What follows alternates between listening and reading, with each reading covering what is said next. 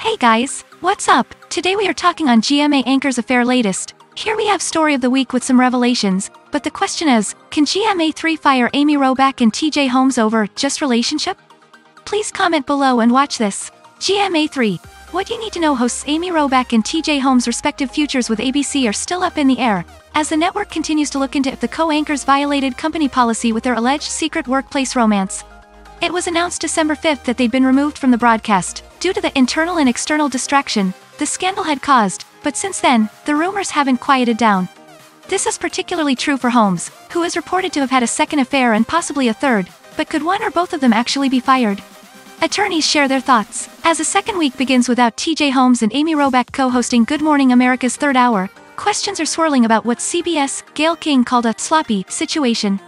Legal expert Amory McAndrew, a partner at Hogat Newman Regal and Kenny LLP, told IndieWire that ABC News does have the legal right to terminate the co-anchors if it sees fit.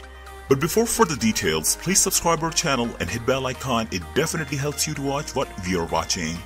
He said, the bottom line is, ABC News can do whatever they want. They're just probably going to have to pay for it.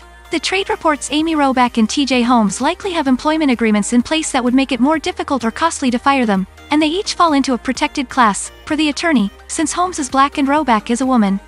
However, it's believed they each would have signed a morality clause upon joining the company that they could be in violation of, if found to have had extramarital affairs.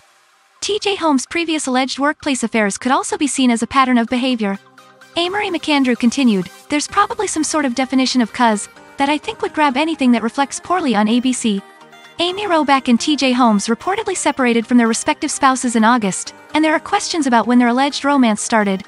Some sources say an affair began earlier in 2022 while they were on assignment, but others say no lines were crossed until their marriages were over.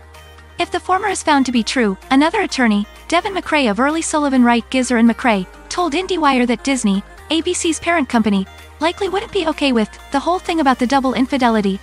The Daily Mail broke the news of the alleged affair, posting a number of photos of the GMA3 anchors having drinks at a bar, spending alone time at each other's houses and showing some PDA on a getaway in upstate New York.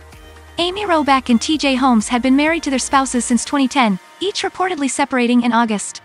Old comments from their past began to pop up after the photos were released, including a message TJ Holmes wrote to his wife on their 10th anniversary, a cryptic joke Amy Robach made to Reese Witherspoon about workplace drama and Holmes' thoughts on his longtime friend's love story with Melrose Place alum Andrew Shue.